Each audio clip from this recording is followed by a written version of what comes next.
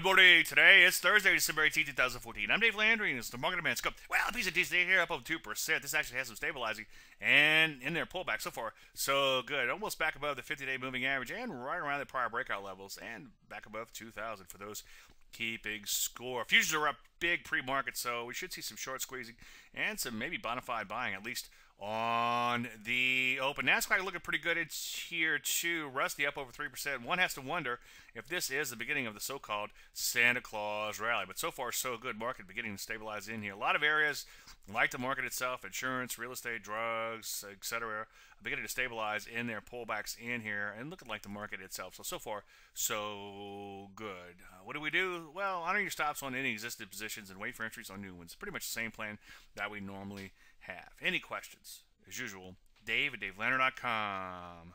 I'm Dave Landry, and you started Market a Minute. Ooh, chart show later today. Hope to see you there.